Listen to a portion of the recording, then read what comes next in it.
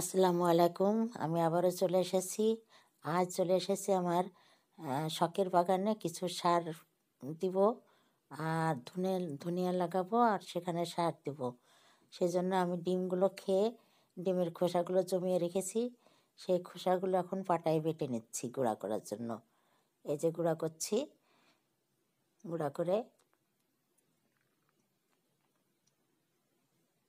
সব খোসাগুলোর একটাও ফেলিনি, সব খোসাগুলোকে আমি জমে জমে রেখেছি। এই তো এইভাবে আমি গুঁড়া করে নিয়েছি।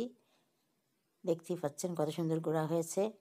এইভাবে আমি সমস্ত ডিমের খোসাগুলো গুঁড়া করে নেব। আর এখানে কিছু কলার খোসা আমি বেলকনিতে দিয়ে শুকিয়ে রেখেছিলাম। সেগুলোকে হাত দিয়ে এভাবে ভেঙে নিয়েছি। এখন আমি একটু পাটায় বেটে আর একটু গুঁড়া করে নেব। যতটুকু গুঁড়া হয়, যেভাবে একটু আদা আদা ভাঙা হলেই হবে। মাটিতে দেওয়ার পরে এটা পানি দিলে পচে সার হয়ে যাবে। তো এই তো এইভাবে আমি গুঁড়া করে নেব।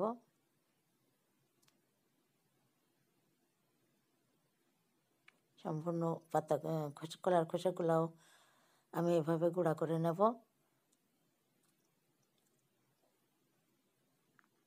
এই তো আমি গুঁড়া করে নিয়েছি। এখন ডিমের খোসার সঙ্গে ভালোভাবে মিশিয়ে দিচ্ছি। সুন্দর করে এই যে এদিক ওদিক ই করে সুন্দর করে মিশিয়ে দিলাম। এখন আমি এক পাটাতে গুঁড়া করেছিলাম, সেই পাটাটা একদম পরিষ্কার হয়ে আছে, এতে কিছু লেগে নাই।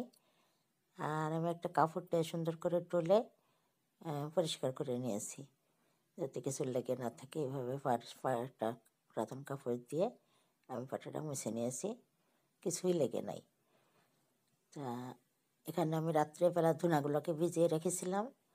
সেখান থেকে আমি কিছুটা ধুনে এইটা টব করেছি। এই টবে আমি প্রথমে জৈব সার দিয়ে মাটিটা মিক্স করে রেখেছি। আর সেখানে এখন আমি তৈরি করেছি যে ডিমের খোসা আর কলার খোসা দিয়ে সার। সেই সারটা আমি এখানে একটা দিয়ে মাটির সঙ্গে মিশিয়ে দিচ্ছি। মিশিয়ে দিয়ে তারপরে আমি ভিজিয়ে রাখা ধুনেগুলোকে ছিটিয়ে দেবো। এখানে এই যে ধুনেগুলোকে ছিটিয়ে দেবো খুব পাতলা করে দিতে হবে, ঘন করে দেওয়া যাবে না। আর এক জায়গায় যেন বেশি পড়ে না যায়, সেটা খেয়াল রাখতে হবে। তারপরে আমি আবার মাটি দিয়ে এই বীজগুলোকে ভালোভাবে ঢেকে দেবো। আর বড় বড় ঢালগুলো সব ভেঙে কুচি করে দেবো। দিয়ে তারপরে পানি দিয়ে দিতে হবে। তারপরে পাশে আমার আবার জায়গা আছে। এখানে আমি আবার জৈব সার দিয়ে মাটিটা সুন্দর করে মিক্সড করে রেখেছি, গোড়া করে রেখেছি। এখন এখন আমি এখানে ডিমের খোসা কলার খোসার সার প্রয়োগ করব। সার প্রয়োগ করে, তারপরে এখানে মাটির সঙ্গে মিশিয়ে দেবো। মাটির সঙ্গে মিশিয়ে দিয়ে তারপরে গাছ ধনের বিচি চারাবো এই তো, দেখতে পাচ্ছেন সারটা ছিটিয়ে দিচ্ছি।